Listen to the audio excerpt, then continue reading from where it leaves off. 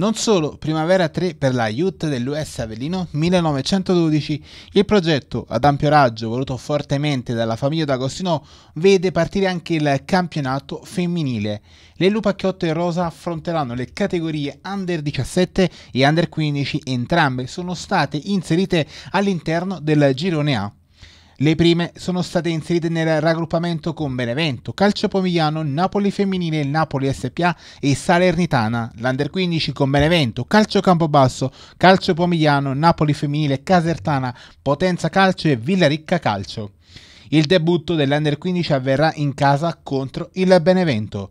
Negli ultimi anni il mondo del calcio femminile ha avuto una grossa cassa di risonanza con diversi club che spiccano, tra cui la Juventus, Napoli, Roma e Fiorentina. Ecco il progetto del settore giovanile tocca anche il mondo in rosa, società dunque che vuole essere un modello da seguire su ogni singolo aspetto. Uno sviluppo partito nel 2015 con il primo piano della FIGC con l'inserimento graduale di norme relative al calcio femminile all'interno delle licenze nazionali che proseguirà anche nella stagione 2022-2023 con l'adozione del professionismo in massima serie.